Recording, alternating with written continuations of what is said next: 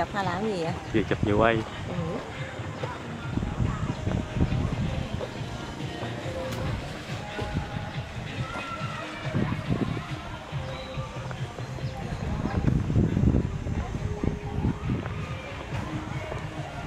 đi cho biết. Đi cho biết. Đường đi bông nhiều quá ha. Em, em trai của em đó ha dạ em của con của mợ. Ừ, cũng giống cũng chưa biết trong này nữa chưa đi.